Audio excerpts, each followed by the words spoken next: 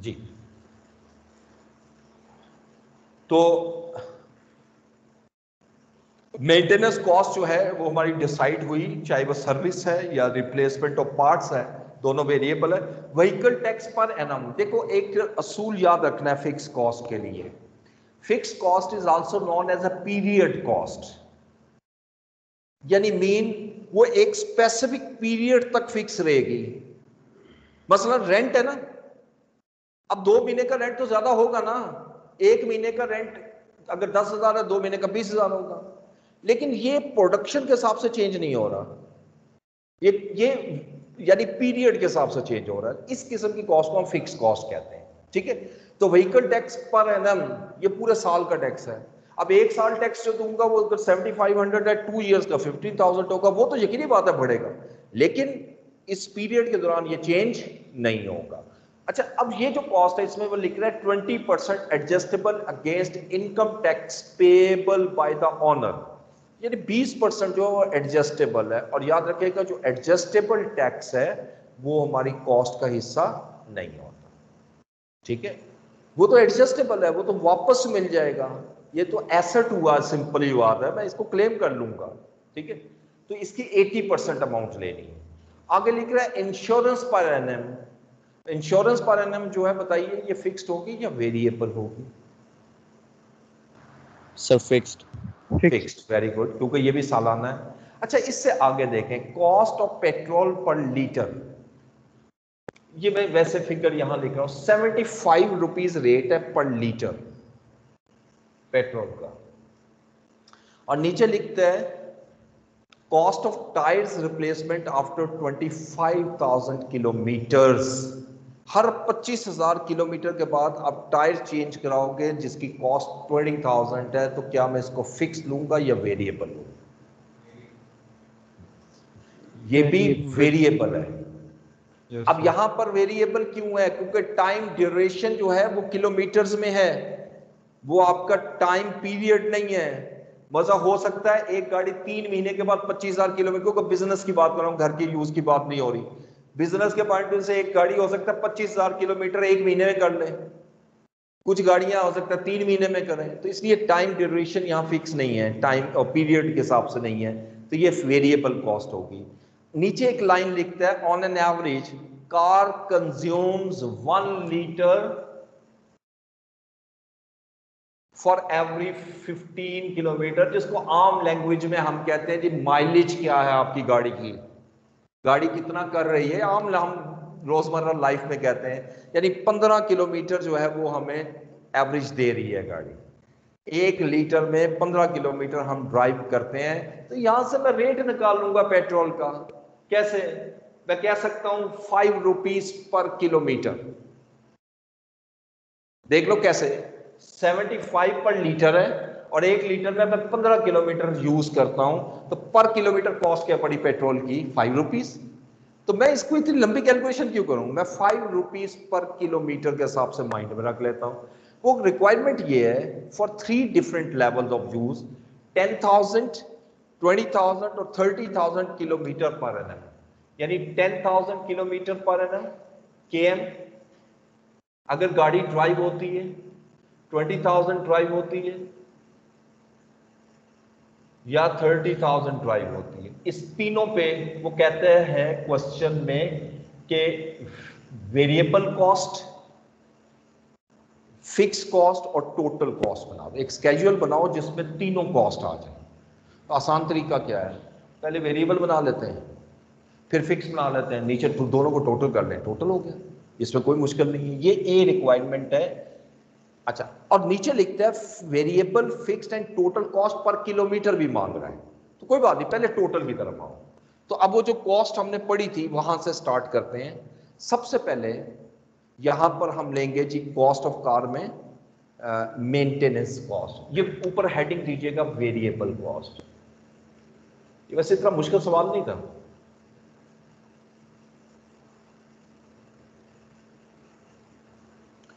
अब variable cost जो है, वो हमारे पास कौन सी आ रही है? मेंटेनेंस अच्छा मेंटेनेंस में भी दो कॉस्ट है ना?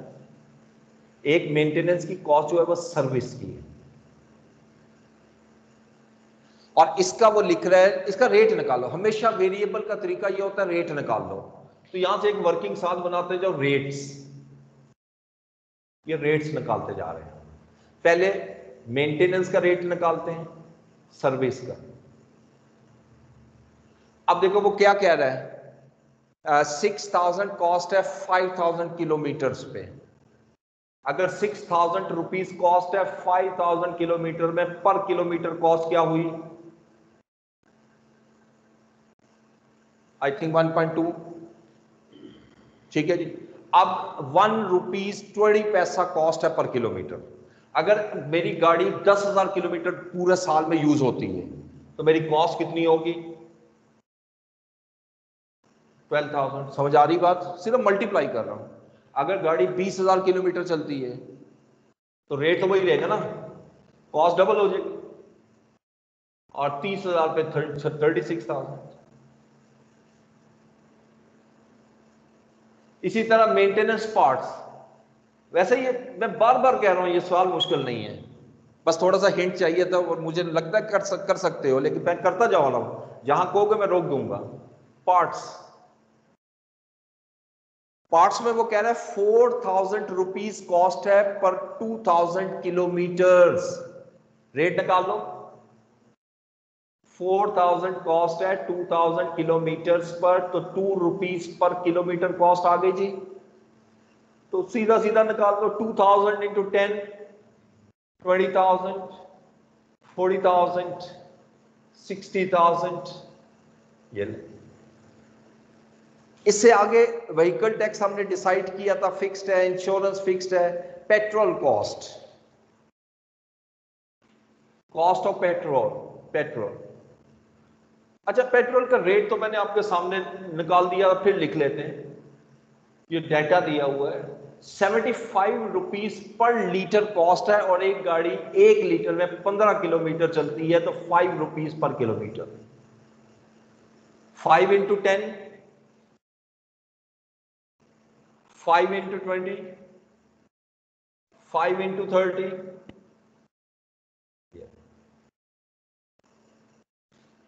उसके बाद कॉस्ट ऑफ़ टायर्स अब टायर्स की जो कॉस्ट है, वो लिख रहा जी के रिप्लेस करोगे after twenty five thousand kilometre और कॉस्ट होगी ट्वेंटी थाउज़ेंड तो रेट आ गया एटी पैसा यानी पर किलोमीटर जो है एटी पैसा कॉस्ट मुझे पड़ रही है टायर्स की। तो एटी पैसा को इससे मल्टीप्लाई कर दो एट थाउज़ेंड सिक्सटीन थाउज़ेंड और ट्वेंटी फोर थाउज़ेंड ठीक है जी, यहाँ तक होने के बाद, अब एक कॉस्ट और रह गई डेप्रिसिएशन अच्छा डेप्रिसिएशन यहाँ फिक्स्ड है या वेरिएबल मेथड देखो. ये यूजेज मेथड है.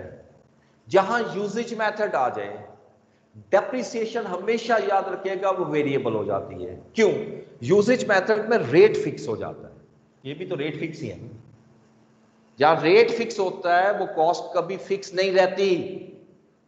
यहाँ रेट फिक्स होता है, वो कॉस्ट फिक्स है वो सॉरी जहाँ रेट फिक्स होता है, वह कॉस्ट हमेशा वेरी करती है। और जहाँ कॉस्ट फिक्स होती है, वहाँ रेट वेरी करता है। तो ये हमेशा याद रखना है प्रिंसिपल तो लिहाजा अब मैं आता हूँ जी दोबारा इसकी तरफ़ तो डेप्रिसिएशन रेट निकाल लूँगा और डेप्रिसिएशन का क्या फार्मूला पड़ा है? Cost of car 1.2 million minus salvage value वो भी क्वेश्चन में दी हुई है 300,000 whole divided by useful life in kilometres तो 12 को ये 900,000 को इस पर डिवाइड किया नाइन रुपीज़ पर किलोमीटर गाड़ी डेप्रिसिएट होगी। तो अब ये डेप्रिसिएशन भी यहाँ लाइएगा।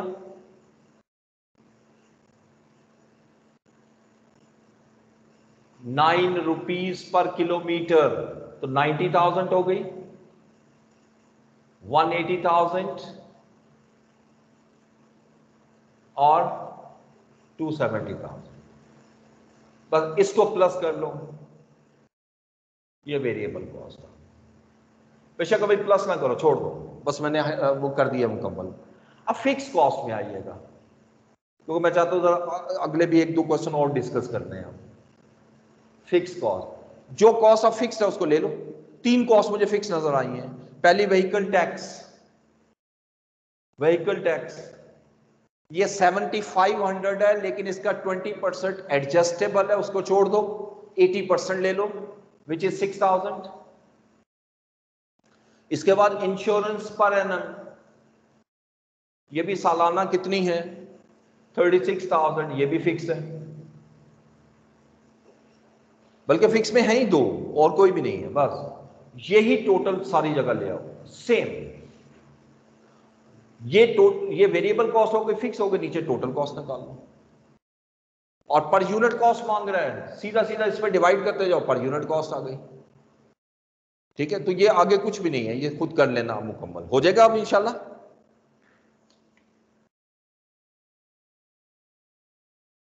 यस सर ठीक है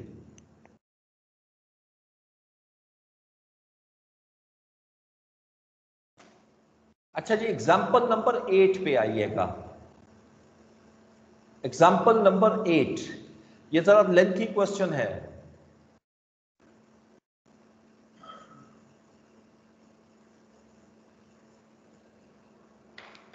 पेज नंबर है three three seven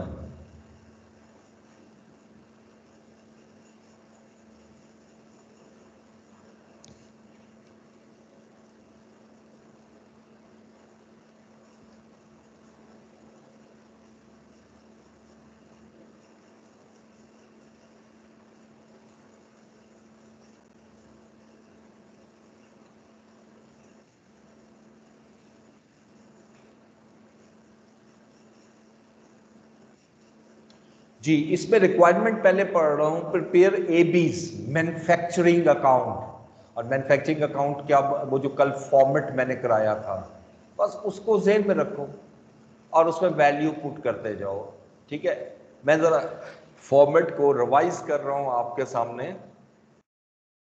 Opening inventory of raw material सबसे पहले लोगे, उसमें ऐड करोगे। शाबाश आप लोग, मेरा साथ भी दीजिएगा। ऐड करेंगे। सब purchases of raw material purchases ठीक है। और परचेजेस लोगे नेट नेट परचेज ठीक है। नेट परचेज का मतलब क्या है? जिसमें अगर कोई डिस्काउंट वगैरह है तो वो आप लेस करोगे। और अगर कोई आ, आपका वो आ रहा है डायरेक्ट एक्सपेंसेस डायरेक्ट एक्सपेंसेस वो होते हैं जो डायरेक्टली परचेज एक्टिविटी से रिलेट करते हैं वो इसमें ऐड करने हैं। ये हमारी परचेज आ जाती है।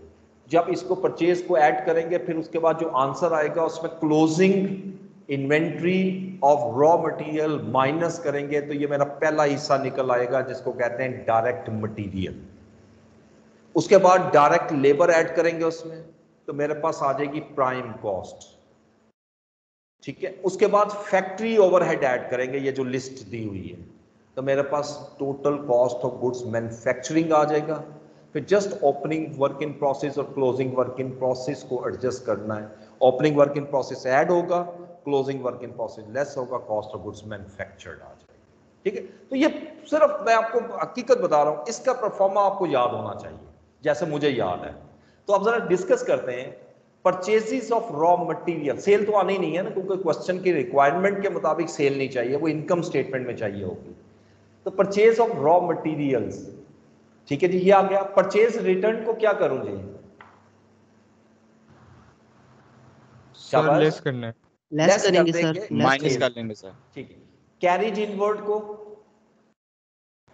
ऐड कर लेंगे। ऐड करेंगे। ऐड करेंगे। ये परचेज से रिलेट करता है ठीक है जी। ये तीन हेड आ गए। Purchase less purchase return add carriage inward इन तीनों को प्लस माइनस जब करूँगा तो समझ लो मेरी परचेज आ गई। नेट परचेज इसको कह रहे तो ओपनिंग रॉ मटेरियल तो नीचे है ना, ये तो मैं सिर्फ़ तरतीब से क्वेश्चन पढ़ रहा हूँ। इसके बाद डायरेक्ट लेबर जैसे हमने कहा था कि जो डायरेक्ट मटेरियल आएगा, उसमें लेबर ऐड कर दो। अच्छा उसके बाद डायरेक्ट ओवरहेड हाँ यहाँ ये एक चीज़ नहीं आई है आपके लिए। इससे पहले मैंने आपको फॉर्मेट में ये बताया था, ये देखिएगा opening work in opening raw material लेंगे ऐड करेंगे इसमें परचेस और लेस करेंगे क्लोजिंग रॉ मटेरियल तो जो आंसर आएगा वो मेरा क्या कहलाएगा? डायरेक्ट मटेरियल और इसकी डिस्कशन हमारी हो चुकी है। ओपनिंग रॉ मटेरियल की इन्वेंट्री नीचे क्वेश्चन में दी हुई है। क्लोजिंग भी गिवन है। परचेज की अभी डिस्कशन की है। इसमें तीन अमाउंट्स आएँगी। परचेज लेस परचेज रिटर्न और प्लस कर दो कैरिज इनवर्ड और ये सारी शो करनी है आपने ठीक है? ये डायरेक्ट मटेरियल इसके बाद फिर हम डायरेक्ट लेबर ऐड करेंगे। वो भी गिवन है क्वेश्चन में। मैं ये क्वेश्चन कर नहीं रहा और ना ही करूँगा। मैं सिर्फ़ हिंट दे रहा हूँ, ये सब नोट करो। खुद करने हैं ये क्वेश्चन जो ऐसा क्वेश्चन देखूँगा, जो मुझे कराने वाला वो करवाऊँगा। ये इजीली हो जाएँगे। डायरेक्ट लेबर लिया। अब इसमें मैंने इन दोनों को जब ऐड करते हैं तो प्राइम कॉस्ट आती है। यहाँ पर डायरेक्ट ओवरहेड्स भी दिए हुए जब डायरेक्ट क्योंकि बेसिकली प्राइम कॉस्ट सारी डायरेक्ट कॉस्ट है। प्राइम कॉस्ट सारी डायरेक्ट कॉस्ट है। एफ़ नॉर्मली जो है वो इनडायरेक्ट कॉस्ट होती है। लेकिन अगर कोई इसमें थोड़ा सा हिस्सा डायरेक्ट है ना तो इसमें ऐड करना पड़ेगा। अब इन तीनों को ऐड करूँगा तो ये बन जाएगी प्राइम कॉस्ट और अब मैं फिर फैक्ट्री ओवरहेड लेता हूँ। और फिर प्लस करूँगा तो total cost of goods manufacturing सिर्फ़ फॉर्मेट में ये नई चेंज, चीज़ आई। डायरेक्ट ओवरहेड्स ठीक है? अच्छा अब इसके बाद नीचे कुछ एक्सपेंसेस और दिए हुए हैं। Rent electricity insurance factory supervision salaries office salaries indirect factory wages factory cleaning office cleaning ये मैंने कुछ सात से आठ एक्सपेंसेस को लिस्ट डाउन किया है, बल्कि नीचे भी हैं।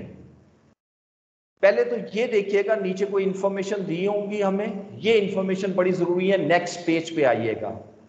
वो लिखते हैं जी depreciation on factory building is to be provided at 25 percent per annum reducing balance method एक तो ये जेन में रखिएगा। दूसरा, वो तीन एक्सपेंसेस के बारे में कह रहा है। वो कह रहा है रेंट इलेक्ट्रिसिटी और इंश्योरेंस वो कहता है are apportion on the basis of 80 percent to factory and 20 percent to office यानी इन एक्सपेंसेस का 80 परसेंट फैक्ट्री को जाएगा और 20 परसेंट ऑफ़िस को। बस। और नीचे finish goods are transfer to trading account factory cost plus one third ये कल भी किया था पॉइंट ये कोई नया नहीं है। ओके अब जरा दोबारा लिस्ट डाउन कीजिएगा। फैक्ट्री ओवरहेड की क्या डेफिनेशन मैंने बताई थी? कल मैंने एक डेफिनेशन बताई थी फैक्ट्री ओवरहेड की। सर उसमें वो सारी चीज़ें आती हैं जो कॉस्ट फैक्ट्री की कॉस्ट मतलब फैक्ट्री कॉस्ट होती है लेकिन उससे सिर्फ़ डायरेक्ट लेबर और डायरेक्ट मटेरियल नहीं होगा। जी जी बिल्कुल ठीक हो गया। यानी अब मैं अगर इसको एक दफ़ा फिर रिवाइज कर रहा हूँ फिर बोल रहा हूँ इस लाइन को any cost which is related to factory पहली चीज़ तो कंडीशन समझ आ गई फैक्ट्री से रिलेट हो but other than direct cost अब मैंने ये वर्ड यूज़ कर लिया जब डायरेक्ट कॉस्ट मैं कह रहा हूँ तो इसमें डायरेक्ट मटेरियल भी निकाल दो, क्योंकि वो आ चुका है। डायरेक्ट लेबर भी निकाल चुको, निकाल दो, क्योंकि वो भी ले चुके हो। और इवन डायरेक्ट ओवरहेड भी निकाल वो इस क्वेश्चन में ना, इससे पहले नहीं था। तो जितनी डायरेक्ट कॉस्ट है, वो निकाल दो। बाकी जो भी कॉस्ट बच रही है, और वो फैक्ट्री से रिलेट करती है तो वो फैक्ट्री ओवरहेड है। तो फैक्ट्री ओवरहेड जितने भी क्वेश्चन करोगे ना उसमें खुद बनाने पड़ते हैं। तो ये जरा देखिएगा। इसमें पहला हेड है रेंट बताइएगा ये आएगा एफओएच में? यस सर यस ये देखो। Yes. लेकिन सारा नहीं आएगा। 80 परसेंट जी गुड ये लिखा हुआ है ठीक है जी? 80 परसेंट इससे आगे देखिए इलेक्ट्रिसिटी सेम इलेक्ट्रिसिटी आएगी कितने परसेंट 80 परसेंट उसके बाद इंश्योरेंस क्योंकि इनके साथ फैक्ट्री का लफ्स नहीं लगा हुआ ना। इसलिए कंफ्यूजन होती है पता नहीं आएगी कि नहीं। इसलिए उसने हिंट दे दिया। इंश्योरेंस भी 80 परसेंट फैक्ट्री से। तो ये जो तीन एक्सपेंसेस आ रहे हैं ये आएँगे फैक्ट्री ओवरहेड में लेकिन 80 परसेंट इससे नीचे जो हेड है फैक्ट्री सुपरविजन सैलरी बताओ यस और no yes sir yes yes office salaries no no no good indirect factory wages yes yes yes ये इनडायरेक्ट है. डायरेक्ट नहीं है. Factory cleaning yes. Yes office cleaning no no no ठीक है. और नीचे तो अब देखो खत्म हो गई लिस्ट नीचे तो स्टॉक दिया हुआ है ना. ओपनिंग स्टॉक दिया हुआ है और क्लोजिंग स्टॉक दिया हुआ है. तीनों. ओपनिंग स्टॉक और क्लोजिंग स्टॉक अच्छा नहीं इससे नीचे नीचे दो हेड और हैं। Factory machinery cost factory machinery cost खामोश हो गए हो? क्या ये एफओएच में आएगी? यस सर सोच लो एक दफ़ा फिर मौका दे रहा हूँ। तीसरी दफ़ा मौका नहीं देता हूँ। ये नहीं आएगी ये तो फिक्स्ड एसेट है। लेकिन इसकी डेप्रिसिएशन आएगी। इसकी डेप्रिसिएशन आएगी। तो अब नीचे हमने पढ़ा था ना कि डेप्रिसिएशन का रेट क्या है? नेक्स्ट पेज पे। 25 percent using the reducing balance method तो क्या करोगे? ये फैक्ट्री मशीन कॉस्ट एट 640 और प्रोविज़न फॉर डेप्रिसिएशन दी हुई है 280 Sir? ये क्यूमुलेटेड है। आप Sir? 640 के जी जी। सर ये रिपीट कर देंगे फैक्ट्री मशीनरी कॉस्ट क्यों नहीं आएगी? फैक्ट्री मशीनरी कॉस्ट इसलिए नहीं आएगी कि ये एक्सपेंस नहीं है ये एसेट है। मशीन है ना? Oh okay. ये रनिंग कॉस्ट होती तो मैं कहता ठीक है ये एक्सपेंस है। ये तो मशीन कॉस्ट है ठीक है? अगर ये होता मशीन रनिंग कॉस्ट तो बिल्कुल आती। क्लियर हो गई मेरी बात? ये फिक्स एसेट है। और फिक्स एसेट की डेप्रिसिएशन अलबत्ता आएगी और फिर डेप्रिसिएशन आपने पढ़ा है रिड्यूसिंग बैलेंस है। कॉस्ट में से एक्यूमुलेटेड माइनस करो जो पाएगा उसको 25 परसेंट हो गया सॉल्व ठीक है? तो हो जाएगा ये क्वेश्चन इंशाल्लाह। Sir. चलिए आगे चलिए। सर प्रोविज़न वाला बता दें। प्रोविज़न असल में ये जो वर्ड यूज़ किया हुआ है ना इसने प्रोविज़न फॉर डेप्रिसिएशन ये एक्यूमुलेटेड डेप्रिसिएशन है। ये कॉस्टिंग में कई जगह ना, ये प्रोविज़न का वर्ड भी हम यूज़ कर देते हैं एक्यूमुलेटेड के लिए। ठीक है?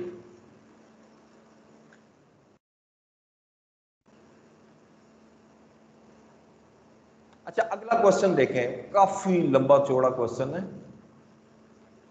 और Bablu limited example number nine requirement पहले पढ़िएगा जरा प्लीज़ रिक्वायरमेंट पहले।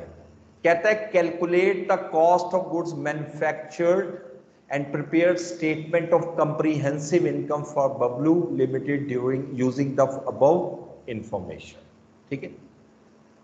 आइएगा यहाँ पर। ये दो पेजेस पे इसका डेटा है। तो पहले जरा डिस्कशन करना ज़रूरी है, ये ना हो कि कोई चीज़ मिक्स अप हुई हो, क्योंकि दो पेजेस पे तो ये डाटा दिया हुआ है। ओपनिंग स्टॉक फिनिश गुड्स इसका मैन्युफैक्चरिंग अकाउंट से कोई ताल्लुक नहीं है। कॉस्ट ऑफ़ गुड्स मैन्युफैक्चर तक ये नहीं आता। ये जाएगा एक स्टेटमेंट ऑफ़ कंप्रीहेंसिव इनकम में। परचेजेस ऑफ़ रॉ मटेरियल बताओ लेंगे या नहीं? लेंगे सर। ठीक हो गया। कस्टम ड्यूटी को क्या करें? सर ये परचेजेस में ऐड करेंगे? जी ये परचेज में ऐड होगा क्योंकि डायरेक्ट एक्सपेंस है। Sales tax paid on purchases of raw material sir ये परचेजेस में ऐड करेंगे। अच्छा अब यहाँ रुकिएगा। अभी पूरा चूँकि क्वेश्चन नहीं पढ़ा नीचे एडजस्टमेंट हम बाद में देखेंगे। अभी तक मेरे माइंड में ये आएगा एज अ स्टूडेंट कि जी सेल्स टैक्स दो किस्म का होता है। एक होता है नॉन एडजस्टेबल और एक होता है एडजस्टेबल अगर आपका ये एडजस्टेबल नेचर का है तो फिर तो ये कॉस्ट में कभी भी ऐड नहीं होगा, ठीक है? और अगर ये नॉन एडजस्टेबल है तो फिर ये कॉस्ट का हिस्सा बन जाएगा, ठीक है? मैं एग्जांपल देता हूँ, बड़ी सिंपल सी। आप कोई भी चीज़ को खरीद के लाते हो लाइक टेट्रा पैक लाते हो ऑलपर्स या मिल्क पैक उसके ऊपर एक प्राइस लिखी होती है। कभी उस प्राइस को पढ़ो तो लिखा होता है इस तरह करके, मैं एक्चुअल प्राइस तो नहीं लिख रहा M R P plus GST और ये होती है फिर आगे प्राइस सपोज़ वैसे चले लिखते हैं 170 और 30 प्लस की तो 200 एज अ कंज्यूमर अगर मैं देखूँ तो मैं घर जाके क्या बताऊँगा कि ये 170 रुपए में आया या 200 में? मुझे आप जवाब दीजिएगा। 200 यस 200 क्योंकि ये 30 मुझे वापस नहीं मिलना। लेकिन अगर गवर्नमेंट मुझे ये कह दे कि जो मिल्क खरीदता है ये थर्टी रुपीज़ हमसे ले ले। बेशक मैंने पे टू हंड्रेड किया है लेकिन मुझे कॉस्ट टू हंड्रेड में नहीं करेगा। इसलिए ये याद रखेगा ये जीएसटी जो है ये देखना पड़ेगा कि ये एडजस्टेबल है या नॉन एडजस्टेबल और अगर क्वेश्चन में नहीं दिया हुआ फिर क्या करोगे? भाई अजम्पन ज़रूर लेना इसकी। वैसे ये मैं आपको बताऊँ, ये नॉन एडजस्टेबल नहीं होगा ये एडजस्टेबल होगा। उसकी लॉजिक भी बता देता हूँ। क्योंकि आप मैन्युफैक्चरिंग कर रहे हो, जो रॉ मटेरियल लेते हो, उस पर टैक्स आपका, ये टैक्स आता है, इसको हम आउटपुट टैक्स कहते हैं। इस पर टैक्स आपने देना होता है। और फिर जब ये प्रोडक्ट तैयार होकर सेल होगी तो आप लोगों से भी टैक्स लोगे। ठीक है? तो इन दोनों का जो डिफरेंस है, वो फिर गवर्नमेंट को या पे करोगे या रिसीव करोगे। ये बेसिक सेल टैक्स मैकेनिज्म होता है। तो एनी लेकिन फिर भी मैं आपके लिए ओपन छोड़ रहा हूँ। बेशक आंसर टैली होता नहीं होता जम्पन लिखो और सॉल्व करो। ठीक है? अगर दिया ना हो वो तो आगे जाके देखेंगे। Carriage paid on raw material purchase इसको क्या करूँगे सब परचेज में ऐड कर देंगे। ऐड करेंगे। अच्छा डेमरेज एंड ऑक्ट्राय ऐड करेंगे सर ऐड करेंगे। अच्छा इसमें ये जो लिख रहा है ना डेमरेज एंड ऑक्ट्राय ये होता क्या सर? हाँ ये मैं आपको एक चीज़ समझा दूँ। पहले तो ये भी जेन में रखे डेमरेज होता क्या है? ठीक है वैसे तो इंग्लिश में जिस तरह लिखे हम ड्यूमेरिज भी पढ़ते हैं लेकिन इसको असल में प्रोनाउंस हम करते हैं डेमरेज चार्जेस अच्छा डेमरेज चार्जेस बेसिकली होता ये है कि जब हमारा आउट ऑफ़ कंट्री से जैसे इम्पोर्ट कह लो जब हम कोई चीज़ इम्पोर्ट करते हैं तो पोर्ट पे आती है। और हमारे, हमें कुछ डेज़ देते हैं कि इतने दिनों में आपने क्लियरिंग करवानी है। लाइक टेन डेज़ के अंदर मैंने क्लियरिंग करवानी है। अब टेन डेज़ का जो, अब स्टोरेज तो वो उनको करनी पड़ेगी ना पोर्ट वालों को। उसकी जो टेन डेज़ की स्टोरेज है ना, वो चार्जेस बीच में शामिल होते हैं, जो हमें बिल देंगे। अच्छा अगर मैं लेट कर दूँ डिलीवरी लेना लेट कर दूँ तो जो एक्स्ट्रा डेज़ का मुझे पे करना पड़ेगा, वो डेमरेज चार्जेस और ये याद रखिएगा डेमरेज चार्जेस कभी भी आपकी कॉस्ट ऑफ़ सेल्स का हिस्सा नहीं होती। वो लॉस होता है एक्चुअली और लॉस को अलहदा से ट्रीट किया जाता है। तो बहरहाल इसने चूँकि एक ही हेड दिया हुआ तो मैं लूँगा, लेकिन ये गलत कर रहा है, ये ऐसे नहीं होता, ठीक है? डेमरेज चार्जेस एंड ऑक्टाई भी परचेज में ऐड कर दो। उसके बाद ओपनिंग स्टॉक रॉ मटेरियल ये तो वही जैसे मैंने बताया कि स्टार्टिंग यहाँ से करोगे opening inventory of raw material फिर ओपनिंग वर्क इन प्रोसेस ये भी आपने पढ़ा हुआ है, आगे यूज़ होगा। Labour wages paid labour wages paid ये ये कहाँ आएँगे जी? This one is direct labour ये डायरेक्ट लेबर है। इसके बाद सुपरवाइजर सैलरी कहाँ जाएगी?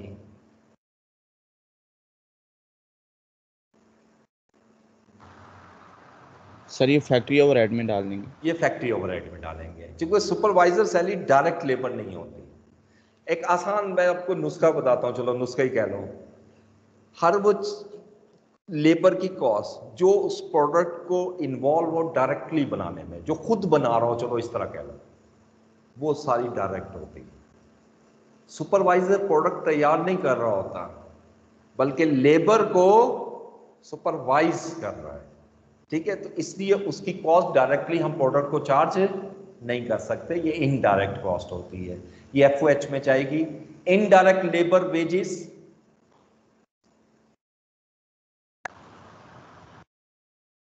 एफ़ जी बिल्कुल सही बात है एफओएच वैसे आपको नॉलेज के लिए बता दू सुपरवाइजर सैलरी भी इनडायरेक्ट कॉस्ट होती है। ऑफ़िस स्टाफ सैलरी ये मैन्युफैक्चरिंग अकाउंट में नहीं आएगी। ये एसओसीआई में आएगी। तो या एसओसीआई भी मांगा हुआ है ना इस वजह से। अच्छा ये सेल्स टीम सैलरी ये भी एसओसीआई में अगर आएगी। एसओसीआई जी जी। सर अगर एसओसीआई ना मांगा होता तो फिर सर ये कहाँ जाती? एक दफ़ा स्टाफ सैलरी एक दफ़ा दोबारा रिपीट कीजिएगा। सर अगर ये एसओसीआई ना मांगा होता तो फिर ये सर ऑफ़िस स्टाफ सैलरी कहाँ पे जाती? फिर छोड़ देते हैं ना। जानी तो वही है लेकिन क्वेश्चन की रिक्वायरमेंट अगर ना हो एसओसीआई बनाना जैसे पिछले क्वेश्चन में थी तो हर वो आइटम जो एसओसीआई में जाएगी तो उसको तो आप लोगे नहीं ना। मैन आप आप फोकस ये करो मैंने मैन्युफैक्चरिंग अकाउंट सिर्फ़ बनाना है। मुझे सिर्फ़ यहाँ से वो चीज़ लेकर आनी है जो मैन्युफैक्चरिंग में आनी है। बाकी छोड़ दो आप क्वेश्चन समझ आ गई मेरी बात? इस क्वेश्चन में हाँ इस क्वेश्चन में आप दो चीज़ें मांगी है ना। एक उसने मांगी है मैन्युफैक्चरिंग अकाउंट और एक मांग रहा है एसओसीआई तो अब जो चीज़ मैन्युफैक्चरिंग में आनी है, मैं मैन्युफैक्चरिंग में लेके जाऊँगा, जो एसओसीआई में आनी है, वो उसमें लेके जाऊँगा और जो दोनों में नहीं आएगी, छोड़ दूँगा। इसका मतलब वो कहीं ना कहीं तो तब भी आएगी ना। ठीक है नेक्स्ट देखिए postage and telegram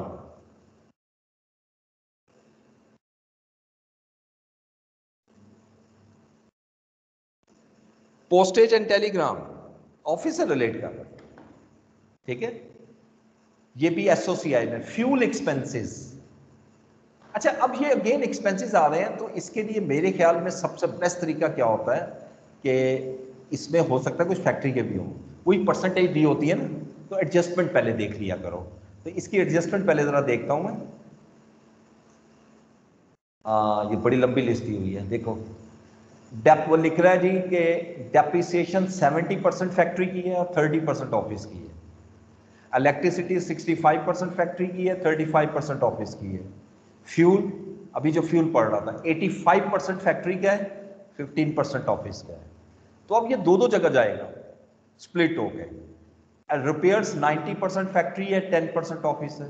canteen 80 percent factory है 20 परसेंट ऑफ़िस है। उसके अलावा लिखता है opening provision for doubtful debts 5000 है क्लोजिंग बैलेंस 40000 है।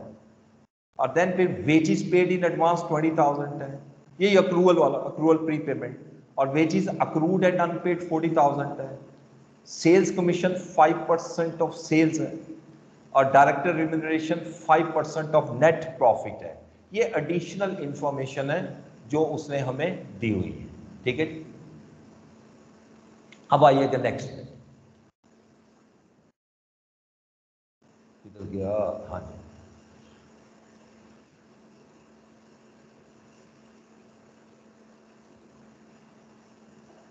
कहाँ चला गया कहाँ तक पहुँचे थे। अच्छा fuel electricity rent property tax अब ये सारा कुछ गिवन है। फिनिश गुड्स परचेज अच्छा कैरिज पेड और फिनिश गुड्स परचेज ये फिनिश गुड्स परचेज क्या है? जी बोलिए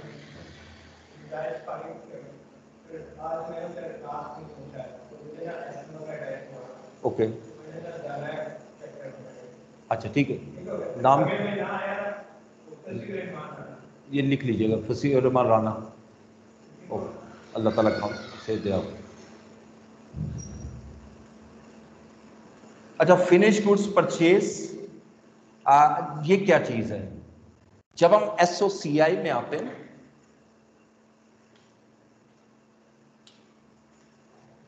एस ओ सी आई का फॉर्मेट जरा देखो, एक दफ़ा फिर। स्टेटमेंट ऑफ़ कंप्रीहेंसिव इनकम सबसे पहले आप लोगे सेल्स और सेल्स में से अगर कोई रिटर्न दी हुई है तो वो भी माइनस करोगे, वो तो आपको पता है, वो सेल्स आ जाएगी नेट ये मैं लफ्स लिख देता हूँ नेट अब इसमें से आपने लेस करना है C G S cost of goods sold सबसे पहले लूँगा opening inventory of finished goods ये क्वेश्चन में गिवन है. इसमें प्लस करोगे cost of goods product cost of production ये कहाँ से लाओगे? जिसको ये भी कह सकते हो कॉस्ट ऑफ़ गुड्स प्रोड्यूस्ड ये बेसिकली वही है जो मैन्युफैक्चरिंग अकाउंट का आंसर आएगा. ये जब मैन्युफैक्चरिंग मुकम्मल हो जाएगा एंड तक तो आप निकालते हो कॉस्ट ऑफ़ गुड्स मैन्युफैक्चर्ड या कॉस्ट ऑफ़ गुड्स प्रोड्यूस्ड ये वो अमाउंट है. ये सारी क्यों प्रोड्यूस की है आपने कि आपने इसको सेल करना है? वो यहाँ लाओ। फिर यहाँ पर कुछ फिनिश गुड्स परचेज भी कर रहे हो। यानी इसका मतलब है कि आपकी जो फिनिश गुड्स है, उसमें दो किस्म की प्रोडक्ट्स हैं। कुछ प्रोडक्ट ऐसी हैं जो इन हाउस आप तैयार कर रहे हो मैन्युफैक्चर कर रहे हो, कुछ बाय कर रहे हो। ठीक है? तो जो बाय कर रहे हो, वो भी सेल करनी है। जो प्रोड्यूस करनी है, वो भी सेल करनी है। इसलिए दोनों सीजीएस का हिस्सा हो। और इसमें आप फर्दर प्लस करो cost of finish goods purchase अब इसके अंदर जो, देखिए, जो भी अमाउंट दी हुई है ना, वो दी है 985 ये वैसे मैं लिख देता हूँ 985 थाउजेंड्स में। लेकिन आगे लिखता है carriage paid on factory finish goods purchase यानी ये जो परचेज की है, इसमें कैरिज पे किया है, वो भी ऐड होगा इसमें। वो इसका डायरेक्ट एक्सपेंस है। Plus carriage on finish goods purchase 19.7 ठीक है? अच्छा इससे आगे और भी देख लो, नीचे कोई और एक्सपेंस ना हो। कैरिज आउट कैरिज आउट आएगी यहाँ पर। कैरिज आउट सेलिंग एक्सपेंस होता है। वो आएगा, लेकिन आगे आएगा सेलिंग एडमिनिस्ट्रेशन में, ठीक है? और इसके बाद अदर इनकम दी हुई है। एक दफ़ा देख लो और कोई आइटम ना रह गए। इंटरेस्ट एक्सपेंस है इंटरेस्ट इनकम है डिस्ट्रीब्यूशन एक्सपेंस है depreciation repair maintenance canteen sales tax received on sales tax purchase return ये ऊपर से माइनस होगी। फिनिश गुड्स की परचेज रिटर्न अच्छा ये फिनिश गुड्स की भी परचेज रिटर्न है। तो इसमें से परचेज रिटर्न भी माइनस देखो ना एक एक आइटम देखोगे तो समझ में आएगा।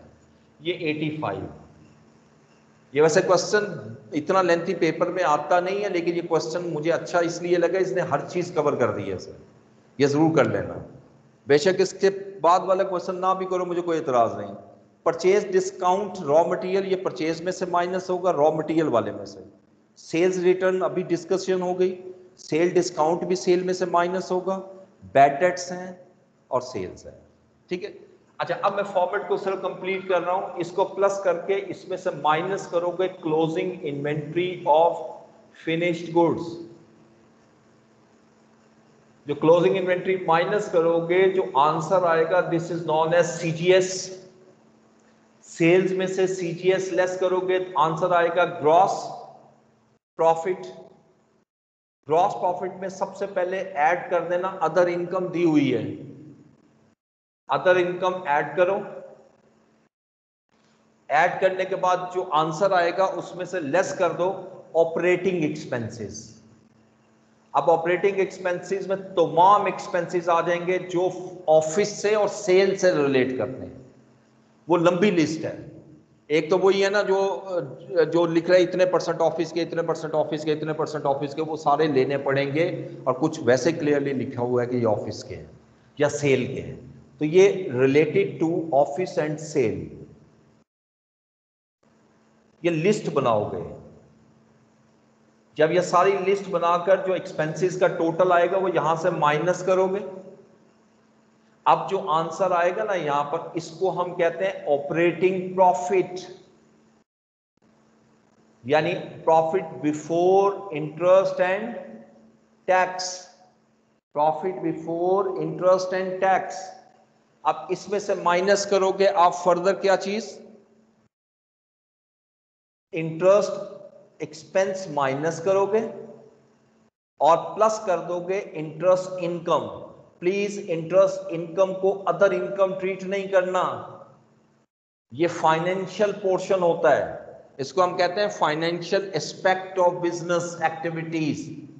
राजा, इसको प्लस माइनस करके जो आंसर आएगा वो प्रॉफिट बिफोर टैक्स होगा और टैक्स तो दिया नहीं हुआ, बस यहाँ तक आंसर आएगा।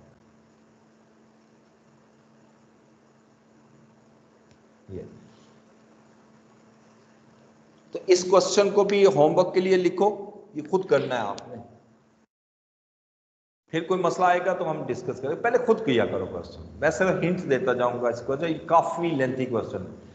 इंशाल्लाह आप बैठोगे ना असर की नमाज़ के बाद तो पता ही नहीं लगेगा अफ्तारी का टाइम हो जाएगा। ये करते करते ये बेस्ट टाइम जी।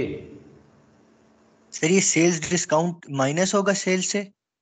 सेल्स डिस्काउंट के दो तरीके होते हैं दोनों जहन में रखिएगा। एक तरीका ये होता है कि हम सेल डिस्काउंट सेल्स में से माइनस कर देते हैं। ठीक है? वैसे मैं आपको अब बता देता हूँ जो हमारा I F R S fifteen आया है लेटेस्ट जो आया है वो हमें अलाउ करता है कि हम उसको सेल में से माइनस करते हैं इवन प्रैक्टिकली भी मैं आपको कई फाइनेंशियल दिखा सकता हूँ जहाँ से लेस हुई हुई है। दूसरा तरीका ये होता है कि हम बजाय वहाँ से लेस करने के हम सेलिंग एक्सपेंसेस में ऐड कर देते हैं। अब जैसे आपका दिल करता है उस तरह कर लें। लेकिन ऑब्वियसली उस तरह आंसर में ज़रूर फ़र्क आ जाएगा लेकिन टोटल आंसर में कोई फ़र्क नहीं आएगा। इसके दो ट्रीटमेंट हो। समझ आ गई बात? यस yes, सर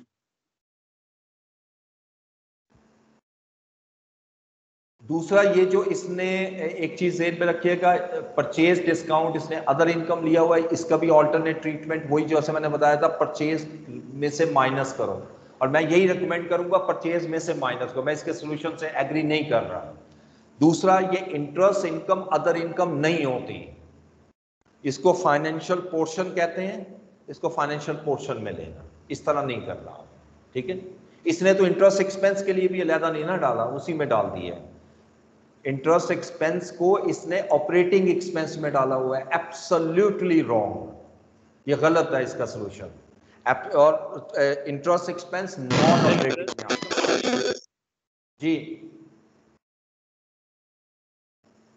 तो ये जरा करेक्शन कर लेना इसलिए मैंने जिस तरह करवाया उस तरह करो। और फिर मुझसे जरा शेयर करो आंसर क्या आता है। फाइनल तो वही आएगा लेकिन दरमियान में जो आंसर आ रहे हैं वो वाला।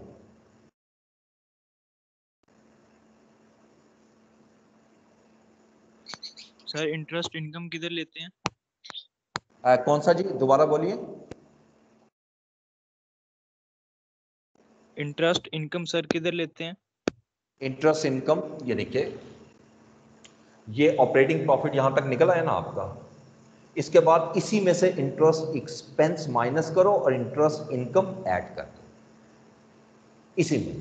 तो ये जो यहाँ पर यानी ये माइनस हुआ और ये ऐड हुआ तो अब मेरा नेट प्रॉफिट आ गया। अदर इनकम में उसके, उस हेडिंग में नहीं लोगे आप इसको। इंटरेस्ट को नहीं लोगे।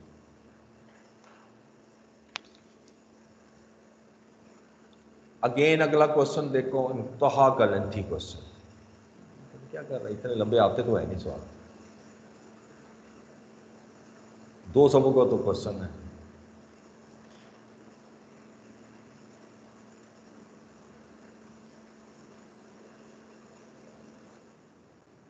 अच्छा इससे अगला देख लो, कोई छोटा क्वेश्चन मिल जाए, फ़िलहाल। एग्ज़ाम्पल टेन बहुत ही lengthy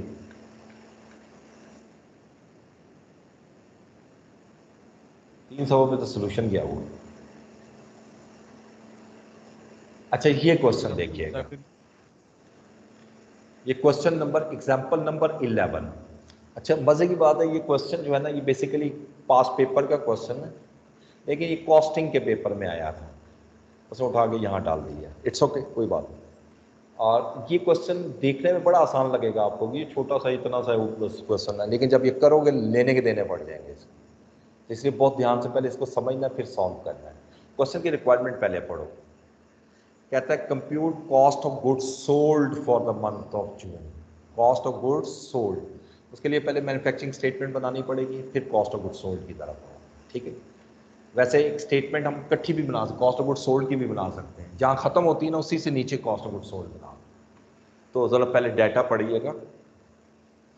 Tuesday manufacturers limited produces a single product the following cost were incurred in the month of June 2019 ये एक महीने की कॉस्ट है। सारी अमाउंट रुपीज़ इन थाउज़ेंड दी हुई है। डायरेक्ट लेबर उसे दी हुई है two zero seven five depreciation दी हुई है डिस्ट्रीब्यूशन कॉस्ट है। अब ज़रा एक लम्हे के लिए मुझसे डिस्कस करते जाओ कि कौन सी कॉस्ट आपकी कॉस्ट ऑफ़ गुड्स सोल्ड तक आएगी डायरेक्ट लेबर आएगी।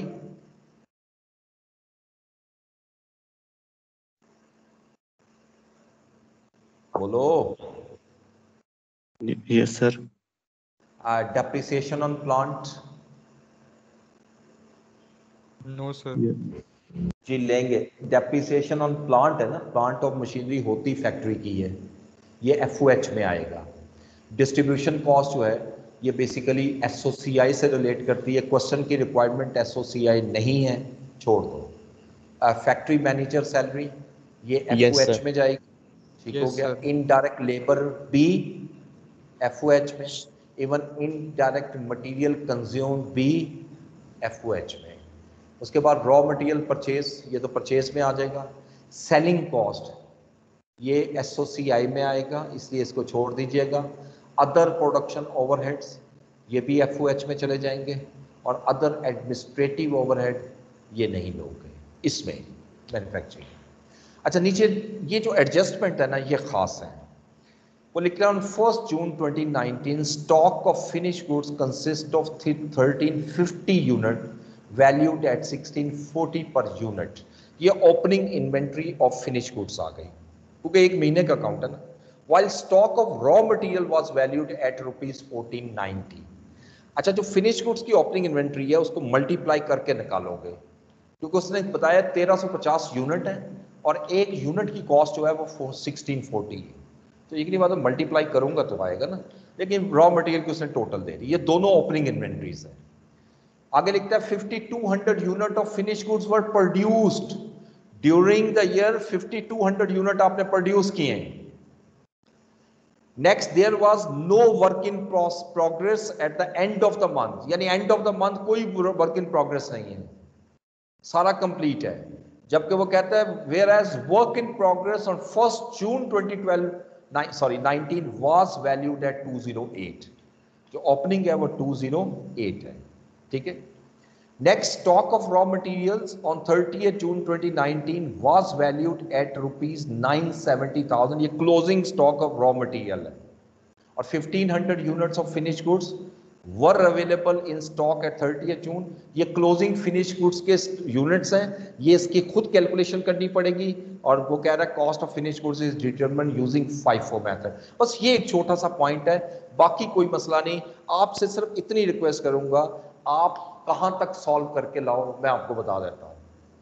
आप इसका, जहाँ लेस करना ना closing inventory of finish goods बस वहाँ से पहले पहले सॉल्व कर।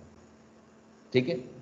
यानी opening inventory of raw material plus purchases less closing inventory of raw material direct material आ जाएगा। डायरेक्ट लेबर ऐड करो प्राइम कॉस्ट आ जाएगी फैक्ट्री ओवरहेड की लिस्ट बना के ऐड कर दो टोटल मैन्युफैक्चरिंग कॉस्ट आ जाएगी। फिर इसमें opening work in process add कर दो और क्लोजिंग तो है ही नहीं। अदरवाइज़ क्लोजिंग लेस होता ना, वो है ही नहीं। फिर ओपनिंग फिनिश गुड्स दिया हुआ है, वो ऐड कर दो, यहाँ तक करके ले आना। आगे मैं कराऊँगा। ठीक है? आगे मैं कराऊँगा इसका हिस्सा तो ये आगे बस इतना, अभी इतने क्वेश्चन करो इससे आगे ना जाना। है ठीक है, ये लास्ट क्वेश्चन कर रहा हूँ। कल जरा इसको डिस्कस कर लेंगे इस क्वेश्चन को। और इनशाला कल बड़ा अहम टॉपिक मैंने शुरू करना है जी। एग्ज़ाम के फ़ौरन बात किया करता हूँ मैं, जिसमें से 100 परसेंट क्वेश्चन पेपर में आना है। और बहुत से स्टूडेंट इसको सही अटेम्प्ट नहीं करके आते हैं। क्योंकि ये है थोरेटिकल पोर्शन यानी ये वो थ्योरी नहीं है रट्टा लगाने वाली, ये पहले बता दूँ। ये समझने वाली है केस स्टडी है। आपको स्टैंडर्ड पे ग्रिप होगी तो आप उसको जवाब दे सकते हो। तो कल इंशाला हम स्टार्ट लेते हैं I F R S fifteen ये जितना देखने में छोटा स्टैंडर्ड है क्वेश्चन छोटे होते हैं अलबत्ता इसके। लेकिन ये इतना ही तंग करने वाला है। इसलिए इसकी एक एक चीज़ को अंडरस्टैंड करना है। इसको ज़रा स्लो लेके चलूँगा। इसमें सारे केसेस भी आपसे मैं डिस्कस करूँगा। काफ़ी हद तक केसेस जो एंड पे दिए हुए बुक के वो भी डिस्कस करने जो स्टैंडर्ड का हिस्सा है। एक तो होता है क्वेश्चन बने हुए, एक स्टैंडर्ड का हिस्सा है। इवन पास्ट पेपर में जो क्वेश्चन दिए हैं, वो उसी में से आए हुए हैं। ये याद रखना। टाइम पाँच मिनट रह गए, मैं अटेंडेंस जल्दी से लगा लो जी, अब ज़रा मेरी स्पीड देखना और मेरी स्पीड के मुताबिक मुझे आपने यस और नो करना है।